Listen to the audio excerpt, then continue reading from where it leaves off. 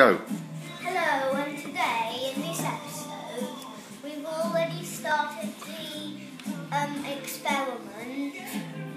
We've put a straw into the um, jam jar, and then there's some there's some um, well vinegar no in the bottom of the jar and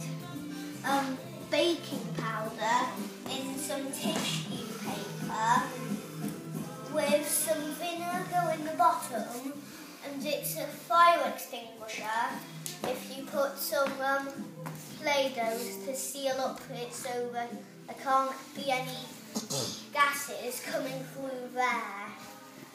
Ready? Mhm. Let's go. Mummy lights the candle. Ooh, now it's time for the extinguisher to start working.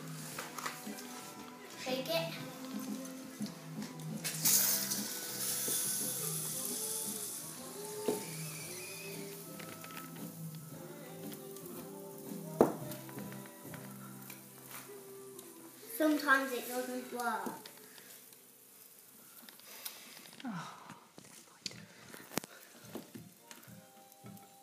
Oh, it's coming.